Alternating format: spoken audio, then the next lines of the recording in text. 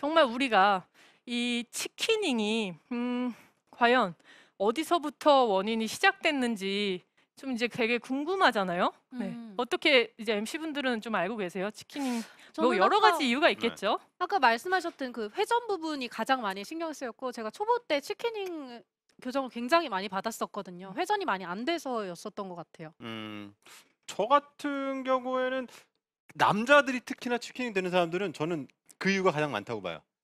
세게 치려고. 네. 음. 힘 줘가지고 이렇게 당기다 회전하다 보게 되면 나기도 모르게 이게 들리는 경우가 그렇죠. 저는 그래서 가장 남자들이 많지 않을까. 근데 그렇죠. 이제 나이를 많이 먹으면 네. 이제 회전이 잘 안 돼서 그런 경우도 있다고 하는데 그런 건 여- 잘, 잘 되죠. 아, 어 싸우신 영향이 것 전혀 같아서 없는 것 제가 어, 같습니다. 얼른 잘 제가 돼요. 예. 하겠습니다. 어, 네 맞아요. 지금 두 분이 말씀하신 내용들이 다 맞고 지금 박상주 아나운서가 힘이라는 포인트를 말씀해 주셨는데 정말 이 힘이 굉장히 안 좋은 영향을 스윙에 끼치는 게 굉장히 많거든요. 특히나 치키닝도 어디서부터 시작이 되냐면요. 이 우리가 조금 치키닝에 대해서 굉장히 고민하고 연구하셨던 분들은 이제 단순히 펴는 데서 이거가 문제가 해결되지 않는다 생각하실 거예요. 자, 원인을 어느 정도 아실 거예요. 자, 다운스윙에서 코킹이 많이 풀리는 이런 캐스팅 동작. 캐스팅 동작이 굉장히 많이 되면요.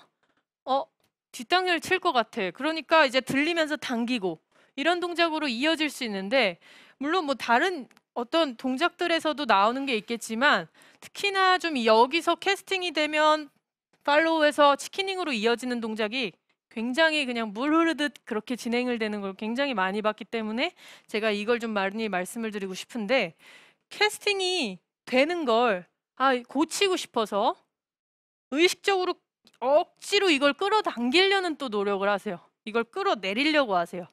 이 각도를 이렇게 끌어내리는 동작 자체가 어떻죠? 이거 굉장히 힘이 많이 들어가요. 그렇죠? 제가 이 힘은요. 오히려 캐스팅을 반복적으로 계속 발생시킬 뿐만 아니라 못 고쳐요.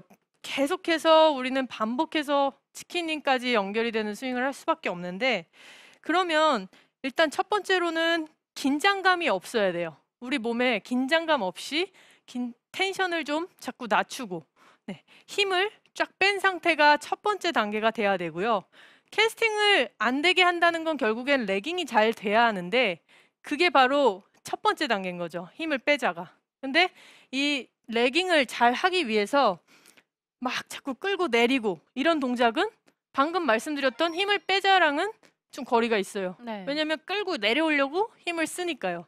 그래서 오히려 우리가 힘을 빼기 위해서 내리는 게 아니라 자 먼저 우리는 힘을 빼고 그 다음으로 이해해야 되는 동작이 바로 팔을 채찍질하 채찍질하듯이 이 팔의 움직임이 네, 꼭 채찍질이라고 생각을 하시는 게 좋아요. 네. 음. 그러니까 많은 분들이 지금 제가 끌어당기는 동작을 노력하려고 하는 동작을 살펴보시면 굉장히 딱딱하고 뭔가 견고하게 자꾸 끌어내리려고 힘을 잡고 내려고 있는데요. 채찍질을 하는 생각을 하시면 약간 이런 느낌인 거죠. 어. 네, 엇박자로 꼭 채가 떨어지는 이런 느낌. 골프채를 채찍이라고 생각하고 그렇죠. 휘두르라는 팔부터 건가요? 아예 다 팔부터 어, 팔의, 팔의 움직임 전체가 채찍질이다 생각하고 아. 네. 그러면 뭔가 팔이 탄력적으로 이렇게 움직이게 되겠죠. 그렇죠. 그러니까 여기서부터 올바른 레깅이 나오게 되는 건데 만약에 우리가 자꾸 우리가 이제 치키닝을 하지 않으려고 여기서 끌고 와서 앞에서 쫙 뻗어 주려고 이런 노력을 하게 되면요. 몸에 힘이 빠지지 않기 때문에 이렇게 끌어내리는 거를 연습하지만 결국에는 캐스팅은 캐스팅대로 되는데 그냥 끌기만 하거든요. 그러면 채가 굉장히 많이 오픈이 되죠. 네. 그러면은 공이 이런 식으로 되는 거예요. 어우. 네. 지금 완전- 치킨은 다 너무 네. 선명하게 됐고 보였고 치- 공은 완전히 우측 그렇죠. 갔어요. 네, 공은 공대로 우측으로 더 많이 가는 문제까지 추가가 돼 버리는 거거든요. 캐스팅, 치키닝은 고쳐지지도 않을 뿐더러.